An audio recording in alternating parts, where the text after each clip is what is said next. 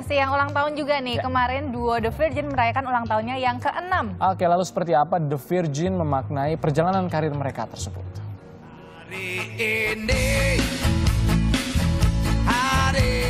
Tanggal 9 Januari kemarin menjadi hari yang sangat membahagiakan untuk grup duo The Virgin. Di perayaan ulang tahunnya yang ke-6 ini, Mita dan Dara mendapatkan begitu banyak kejutan dari para Virginity. Hari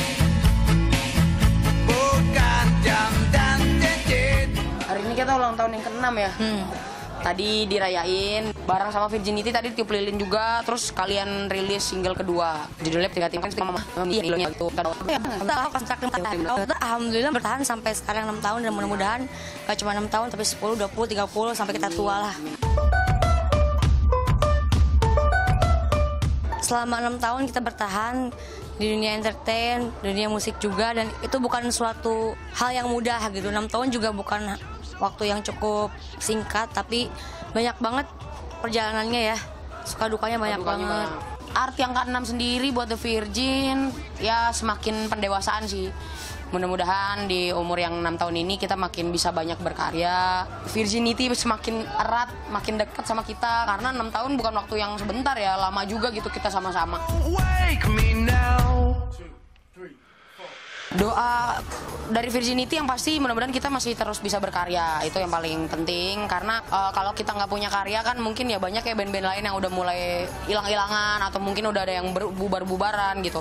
Itu karena mungkin mereka udah udah capek berhenti berkarya gitu. Kalau kita nggak pengen berhenti berkarya walaupun di luar sana mungkin dianggap industri musik Indonesia lagi susah kan sekarang media promonya berkurang tapi kita nggak nggak peduli gitu. Mungkin bajakan di mana-mana tapi kita nggak peduli karena kita percaya kita masih punya fans yang loyal yang mau beli karya kita asli.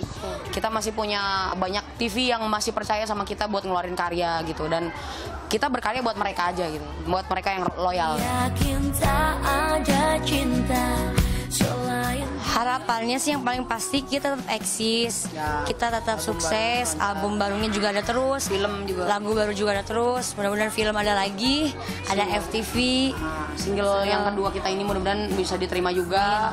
Itu juga buat kado buat kado Virginity. Nanti ada satu kado lagi, film kita nanti rilis bulan Maret. Mudah-mudahan bisa diterima juga sama masyarakat. Itu nunjukin The Virgin masih ada dan akan terus ada. Yang paling penting grafiknya itu jangan naik terus hilang. Kita nggak pengen. Kita pengen kita naik tapi stabil ada terus walaupun nggak nggak nggak nggak naik banget kayak dulu gitu tapi orang tahu bahwa The Virgin ini masih ada gitu dan The Virgin ini masih eksis dengan karya-karya kita kita pengennya begitu aja udah